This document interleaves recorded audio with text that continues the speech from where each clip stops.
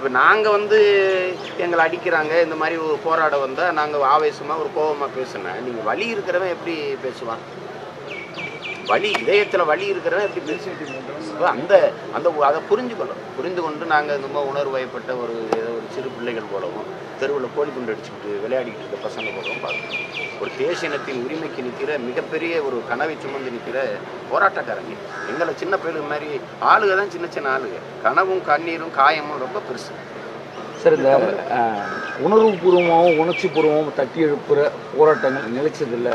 அது மட்டும் இல்லாமல் உணர்வுபூர்வமாக தமிழகத்தில் சில பேர் அரசியல் பண்ணிக்கிட்டு இருக்கதா சில கட்சிகள் தட்டி தட்டி எழுப்பும்போது உணர்வுபூர்வமாக விதைச்சு தான் நீங்கள் அப்படித்தான் வருது. சுபாஷ் சந்திர போஸோ அல்லது எல்லாருமே அப்படித்தான் வந்தது. இப்போ நீங்கள் எங்கள் பாட்டன் தீரன் சின்னமலை வந்து ஒரு சாதாரண குடிம குடியில் பிறந்தவன். அவன் ஒரு படையை கட்டினான்னா அவன் உணர்வுபூர்வமாக விதைக்காம ஒன்றிணைக்க முடியாது. இப்போ எங்கள் தலைவர் வந்து அவ்வளோ பெரிய படையை கட்டினாருன்னா உணர்வுபூர்வமாக விதைக்காம அவர் பேசலை. ஆனால் எங்கள் அண்ணன் திலீபன் போன்றவர்கள் பேச்சு தான் மக்களை உசிப்பி கொண்டு வந்தாங்க. இப்போ சாதாரண சீமான் வந்து இந்த இவ்வளவு பெரிய ஒரு அரசியல் இயக்கமாக உருவாகி வருது உணர்வு எழுச்சியுள்ள இளைஞர்கள் ஒன்றிணைகிறாங்கன்னா அது வந்து அவன் உணர்வு ஊட்டினா தான் ஒன்றிணைவான் அப்போ அப்படித்தானே நீங்கள் வருது?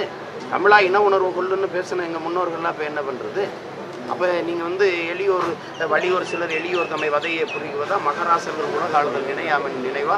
உலகால உனதுதாய் மிகு உயிர்வாதை அடைகிறாள் உடனே வெளி தமிழான்னு அவன்லாம் என்ன பண்ணுறது அப்போ அது அந்த உணர்வு ஊட்டினதுனால தான் நாங்கள் தமிழ் பிள்ளைகளாக இருக்கோம். இல்ல தமிழர்களுக்கு அவருடைய தேவைகளை பூர்த்தி அனைத்தும் நிறைவேறுவதற்கு இனவெறி அப்படிங்கிறது அவசியம் இனவெறி கிடையாது. இப்போ இனவெறி நீங்கள் வந்து அந்த வார்த்தையை பயன்படுத்துங்க இன உணர்வு அவசியமானதில்ல. இன உணர்வு இன உணர்வு இன பெருமை கொள்ளாமல் இன உணர்வு கொள்ள முடியாது. இன உணர்வு இல்லாமல் எப்படி ஒன்றிணைந்து போராட முடியும்? இல்ல அது ஒரு இன்ச்சு தவறுனா கூட அது இனவெறியா மாறிடக்கூடிய எங்கே இருக்குது இனவெறி? இங்கே எங்கே இருக்குது இனவெறி?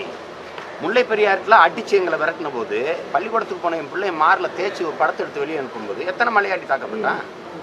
ஆந்திரா காட்டுக்குள்ளே சுட்டு போடும்போது எத்தனை தெலுங்கு தாக்கப்பட்டான்? அதுக்கு என்ன நடந்தது? சுட்டு கொண்ட அதிகாரி மேலே ஒரு தற்காலிக பணி நீக்கம் ஒரு இடைநீக்கம் ஒரு பணியிட மாற்றம் நடந்ததா? என்ன நடந்தது? காவிரியில் இத்தனை பேர் அடிச்சிருந்தான் அடிச்சு தா இது பண்ணவனை ஒருத்தனை கைது பண்ணி ஒரு சிறைப்படுத்தினான்னு செய்தியை படிச்சீங்களா? அங்கே இவ்வளோ பிரச்சனை நடக்கும்போது பரம்பிக்குளத்தில் போய் என் பொதுப்பணித்துறை அதிகாரியும் பொதுமக்களையும் காவல்துறை கேரள காவல்துறை அடிச்சு விரட்டிட்டு அதுக்கு நாங்கள் அடித்தோமா சும்மா தேவையில்லாம பேசக்கூடாது சுற்றி இருக்கிறவங்களாம் அப்போ என்ன வெறி?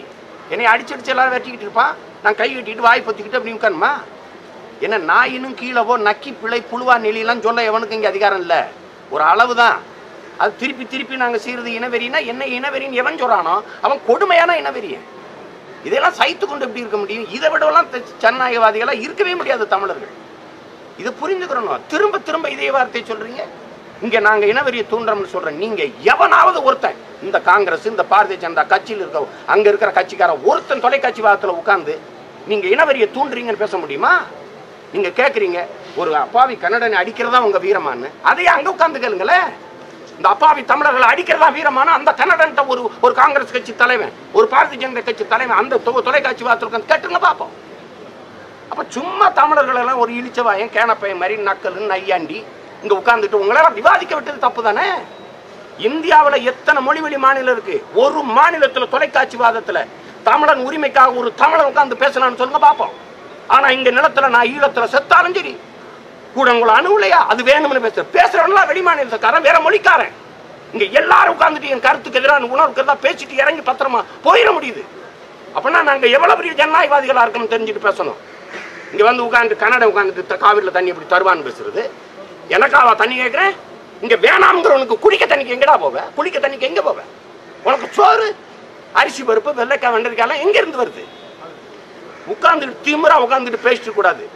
ஆளாளுக்கு ஆளுக்கு பெரிய நீங்கள் தான் பெரிய அறிஞர்கள். பிறக்கும்போது ஆறு ஏழு மூளையை வச்சு உங்களுக்கு படைச்ச மாதிரியும் நாங்கள்லாம் களிமண் நம்ம வச்சிருக்கிற மாதிரி மண்டைக்குள்ள ஒழுங்காக இருக்கணும். சும்மா இங்கே தேவையில்லாத வேலையெல்லாம் பேசிட்டு சும்மா அங்கே வந்துக்கிட்டு பேசுறது அவன் வந்து யோசிச்சு பாருங்க மகாராஷ்டிரா பேசிட முடியுமா?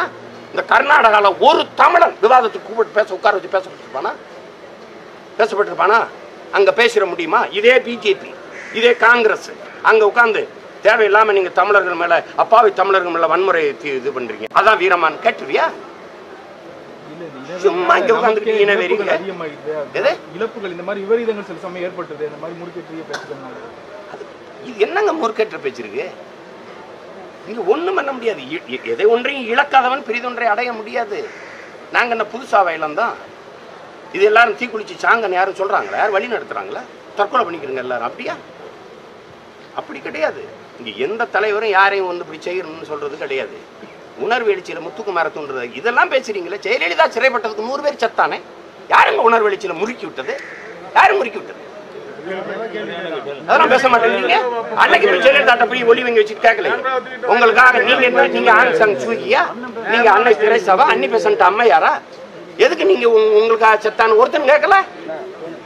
ஊழல் வழக்குல சிறைக்கு போன ஜெயலலிதாவுக்காக நூறு தமிழன் செத்துருக்கான். அன்னைக்கு போய் யாரும் கேட்கல என்ன மூளைச்சலவை செஞ்சு என்ன முறுக்கேத்துற மாதிரி ஜெயலலிதா பேசி தற்கொலை பண்ண வச்சாங்க.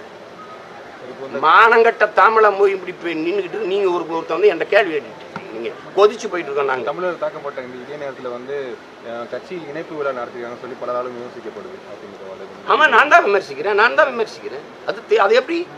இந்த கட்சியில சேர்றதுக்கு தொண்ணூத்தி ஓராயிரத்தி முந்நூத்தெட்டு பேரும் ஒரே நாள்ல நேரம் கேட்டாங்களா? பல நாட்கள் எழுதி கொடுத்து காத்திருந்தவங்க தானே? அவங்கள சந்திக்கிறதுக்கு ஒரு இருபது நாள் கழிச்சு இந்த பிரச்சனையில் சுமூகமான தீர்வுக்கு வந்த பிறகு செய்யக்கூடாதா? அங்கங்க அடிச்சு வரட்டி அம்மானப்படுத்தி இன்னைக்கு நூற்றுக்கணக்கான பேர் குடோன்ல படுத்து கிடக்குறானா இல்லையா? லாரியை விட்டுட்டு பதட்டமா? ராத்திரி ராத்திரி எடுத்து என்கிட்ட பேசுறானா இல்லையா?